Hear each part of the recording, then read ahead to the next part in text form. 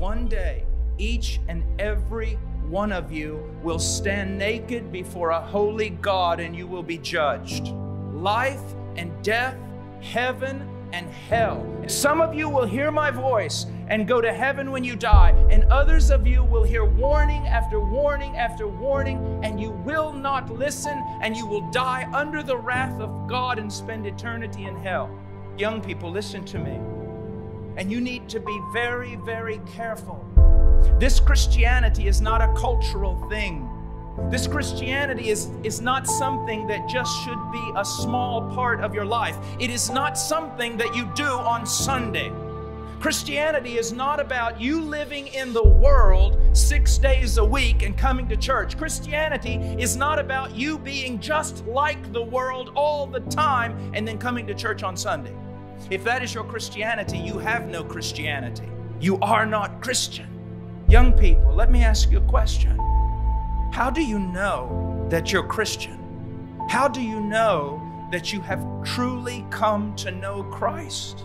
How do you know that if you died right now, you would go to heaven and be accepted by God Almighty before His throne? How do you know? You say, well, it's all of grace. Yes, it is all of grace. We are not saved by works, we are saved by grace. We are saved by believing the promises of the gospel. That is true. But what you need to understand is grace is a powerful thing. That he who has given you grace to repent and believe gives you grace to continue repenting and to continue believing.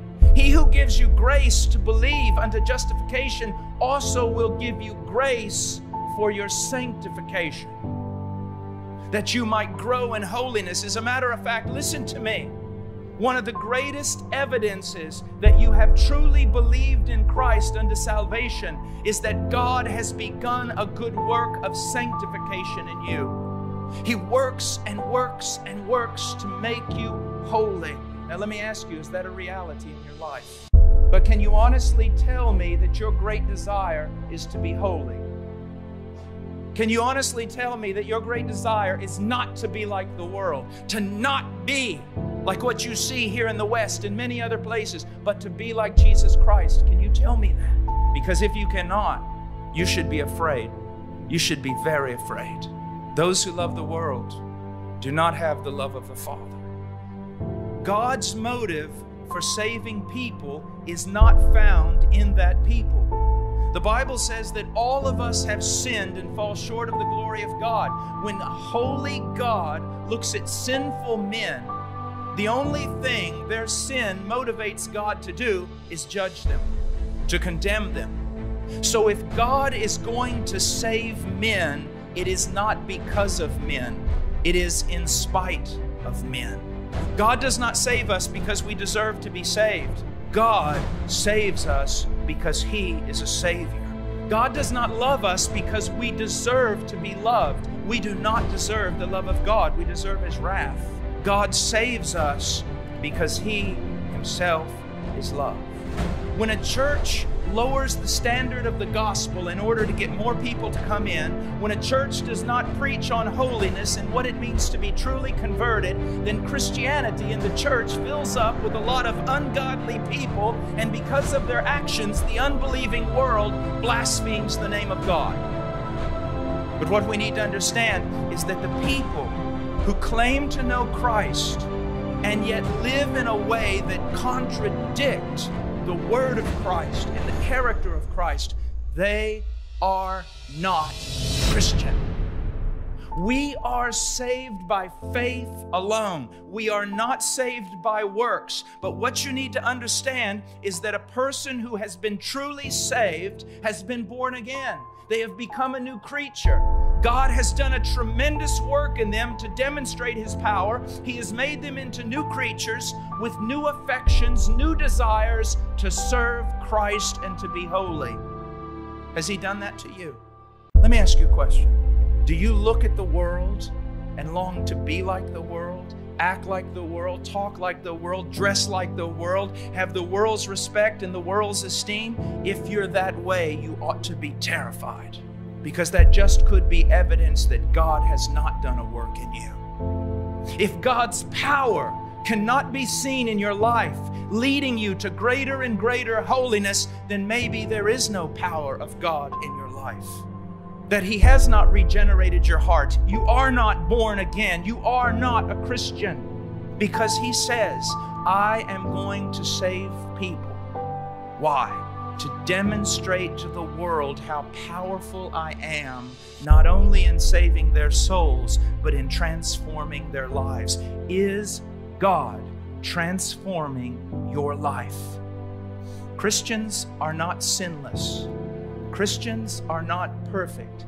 Christians will struggle with sin, and Christians can even fall. But in the midst of that weakness, it will be evident that God is working, God is teaching, God is disciplining, and God is bringing them to greater and greater heights of Christian maturity and holiness.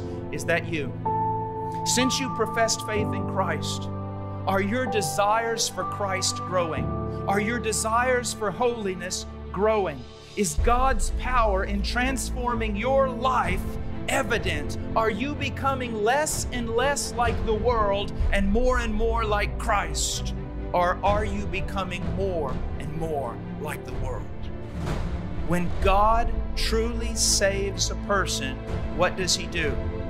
He begins to work in them. With what purpose? To pull them out of the world to pull them out of worldliness, to pull them out of sin, and to bring them to Himself. Now, let me ask you a question Is that obvious in your life? Do you see God working in your life to get more and more of the world out of you? And is God drawing you more and more to Himself and conformity to His image? If you have truly believed in Christ unto salvation, then God will be working in you to make you holy. If there is no evidence that God is working in you to make you holy, there is a good chance that you have not truly been converted. When God saves a person, He is cutting them off from what? From the world. What is the world? Everything in, on this planet, every idea, every thought, every word, every action that contradicts God's will and God's nature. Everything on this earth that opposes God, when God truly saves a person, He cuts them off from that and He begins to separate them little by little, changing their life, getting the worldliness out of their life, and drawing them unto Himself. Holiness means to be separated from the world. Christian, one of the purposes of the scriptures is to teach us what God hates so that we will run away from it. Make no mistake, there can be no friendship with God and the world. And between the believer, there can be no friendship between the believer and the world. If God is truly working in you, He is going to use His word and the power of His Spirit to do what? To reveal to you what is wrong in this world and to draw you away from it.